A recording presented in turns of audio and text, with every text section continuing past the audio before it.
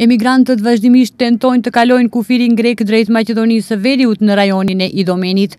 Ata në orët e natës në grupe tentojnë të ngjiten në trena si udhëtarë të verbër apo ta dëpërtojnë rrethojën përgjatë kufirit. Ata kërcejnë në trena dhe përkundër rrezikut për t'i goditur rryma gjatë prekjes me kabllot në tension të lartë.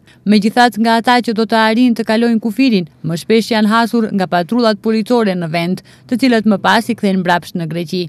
I tillë është rasti me emigrantin pakistanez Musa, i cili arriti të kalojë në Maqedoninë e Veriut përmes vrimës në rrethojën kufitare, por u kap. Ai thotë se së pari ishte rrahur nga policia e Maqedonisë së Veriut e më pas edhe nga grekët, kur e kishte kthyer përmes kufirit. Në shembullin e sirianit njëzetvjeçar Abdullah, i cili disa ditë është fshehur në një ndërtesë në afërsi të stacionit hekurudhor në Idomeni, duke e pritur momentin e vërtetë për ta kaluar kufirin dhe përmes të ashtuquajturës rrugë ballkanike, të niset drejt Europës Perëndimore. Do të bëj gjithçka që do ta kaloj kufirin, thotë Abdullah.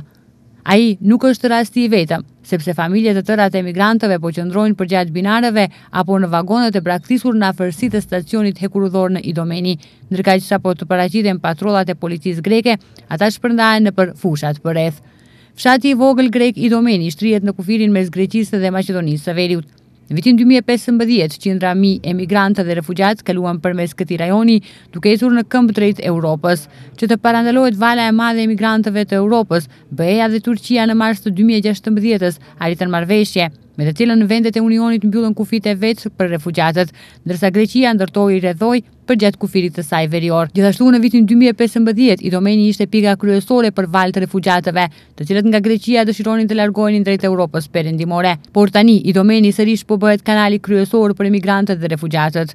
Banori lokal Lazaros Olis thotë se në Idomeni çdo ditë arrijnë rreth dyqind njerëz. Disa vendosën tenta dhe në fusha. Frikësohemi se Idomeni sërish do të shndërrohet në kamp, deklaroi Olis.